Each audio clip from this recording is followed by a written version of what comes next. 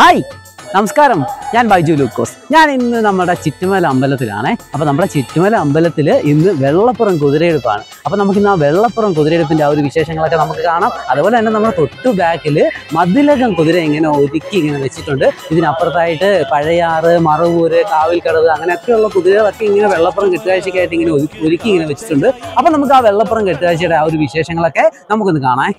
അപ്പം നമ്മുടെ വെള്ളപ്പുറം കെട്ടുകാഴ്ചയിൽ പങ്കെടുക്കാൻ വേണ്ടിയിട്ട് കുതിരകളൊക്കെ ഇങ്ങനെ ഒരുങ്ങി ഇങ്ങനെ ഇരിപ്പുണ്ട്. ആ കുതിരകളുടെയൊക്കെ അടുത്തായിട്ട് നാളത്തെ നാളെ നടക്കുന്ന നമ്മുടെ ആ ഒരു വലിയ കുതിരയെടുപ്പിൽ ഈ കുതിരകളിലൊക്കെ പിടിപ്പിക്കാനുള്ള ആ ഒരു അലങ്കാരങ്ങളൊക്കെ തൊട്ടടുത്തൊക്കെ ഇങ്ങനെ ചെയ്ത് ഇങ്ങനെ വെച്ചിട്ടുണ്ട്. നമ്മുടെ ഈ ചിറ്റുമല ഉത്സവത്തിനെന്ന് പറയുന്നത് രണ്ട് ദിവസമായിട്ടാണ് നമ്മുടെ ഈ കുതിരയുടെ ആ ഒരു കെട്ടുകാഴ്ചകളൊക്കെ നടക്കുന്നത്. ആദ്യത്തെ ദിവസം വെള്ളപ്പുറം കെട്ടുകാഴ്ച എന്ന് പറഞ്ഞും രണ്ടാമത്തെ ദിവസം ഈ കുതിരകളുടെ ആ ഒരു മോൾ ഭാഗങ്ങളൊക്കെ കെട്ടി ആ ഒരു അല അലങ്കാരമാക്കി നെടും കുതിരകളാക്കിയിട്ടെടുക്കുന്ന ആ ഒരു കെട്ടുകാഴ്ചയാണ് നടക്കുന്നത്. അങ്ങനെ രണ്ട് ദിവസമായിട്ടാണ് ഇവിടെ ആ ഒരു കെട്ടുകാഴ്ചകളൊക്കെ നടക്കുന്നത്. ആദ്യത്തെ ദിവസം എന്ന് പറയുന്നത് നമ്മുടെ ഈ നെടുംകുതിരകളുടെയൊക്കെ മുകൾ ഭാഗത്ത് വെള്ള കെട്ടിയിട്ട് എഴുന്നള്ളിക്കുന്ന ഒരു കെട്ടുകാഴ്ചയാണ് ഇതിനെയാണ് വെള്ളപ്പുറം എന്ന് പറയുന്നത്. നമ്മൾ ഈ കാണുന്ന കുതിരകളുടെയൊക്കെ മുകളിൽ നമുക്ക് കാണാൻ പറ്റും. ആ മുകളിലത്തെ തട്ടിൽ ചെറിയൊരു വെള്ള വെള്ള അടിച്ചാണ് ആ ഒരു കുതിരകളെയൊക്കെ ഇന്ന് എഴുന്നള്ളിക്കുന്നത്. ഇന്ന് നമ്മുടെ ഈ വെള്ളപ്പുറം കെട്ടുകാഴ്ചയിൽ പങ്കെടുക്കാൻ വേണ്ടിയിട്ട് നാല് കുതിരകളാണുള്ളത്.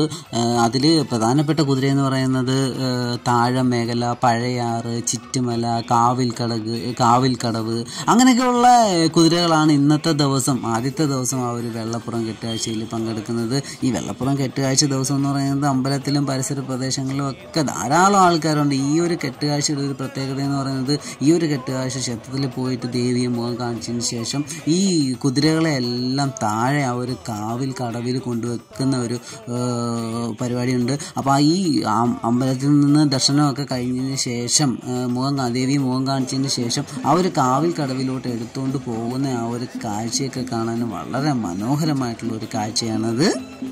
വെള്ളപ്പുറം ദിവസം ഈ നാല് കുതിരകൾ ദേവിയെ മുഖം കാണിക്കുകയും അതേപോലെ തന്നെ നമ്മുടെ മതിലകം ഭാഗത്തു നിന്ന് വരുന്ന ഒരു കുതിര ആ ഒരു കുതിര വയലിൽ നിന്ന് എടുത്ത് ആ ഒരു കാവിൽ കടവിൽ വയലിൽ കൂടെ കൊണ്ടുവന്ന് ആ ഒരു കാവിൽ കടവിൽ കൊണ്ടുവന്ന് വെക്കുകയും നാളത്തെ കെട്ടാഴ്ചകൾക്കുള്ള ബാക്കിയുള്ള സംഭവങ്ങളൊക്കെ ആ ഒരു കാവിൽ കടവിൽ വെച്ചിട്ട് കെട്ടിയിട്ടാണ് ആ ഒരു മതിലകം കുതിര മല കയറുന്നത് ദേവിയെ മുഖം കാണിക്കാൻ വേണ്ടിയിട്ട്.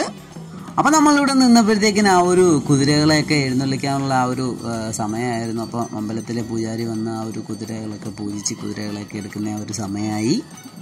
അതുപോലെ തന്നെ നമ്മുടെ ഈ ഉത്സവ ദിവസം ഏഴ് നെടും കുതിരകളാണ് ദേവിയെ മുഖം കാണിക്കാൻ വേണ്ടിയിട്ടുള്ളത്. അന്നത്തെ ദിവസം ധാരാളം ആൾക്കാരാണ് ഈ മലയുടെ ചുറ്റും തടിച്ചു കൂടുന്നത് വളരെ മനോഹരമായിട്ടുള്ള ഒരു കാഴ്ചയാണ് നമ്മുടെ ആ ഒരു ചുറ്റുമല ഉത്സവത്തിന്റെ ആ ഒരു കുതിരയെടുപ്പ് എന്ന് പറയുന്നത്.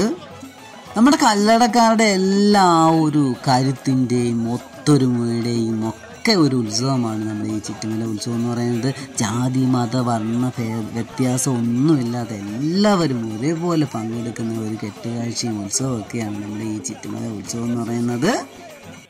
നമ്മുടെ ഈ കുതിരകളൊക്കെ എടുത്തുകൊണ്ട് വരുന്ന ആ ഒരു കാഴ്ചകളൊക്കെ കാണാൻ എന്ത് മനോഹരമാണെന്നറിയോ? ആൾക്കാരുടെ ആ ഒരു സന്തോഷവും ആ ഒരു കുതിര എടുത്തുകൊണ്ട് വരുമ്പോഴുള്ള ആ ഒരു കാഴ്ചകളും ഒക്കെ കാണാൻ വളരെ മനോഹരമാണ്.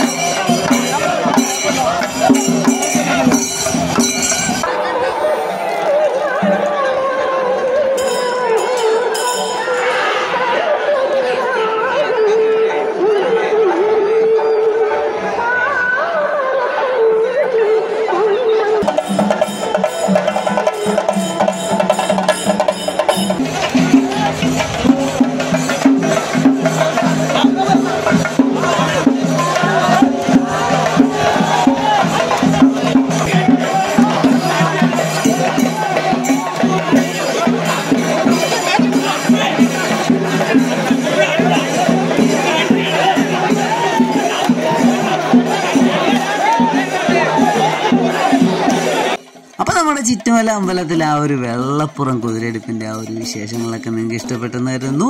അടുത്തൊരു വീഡിയോ ആയിട്ട് നമുക്ക് വീണ്ടും കാണാം. ബൈ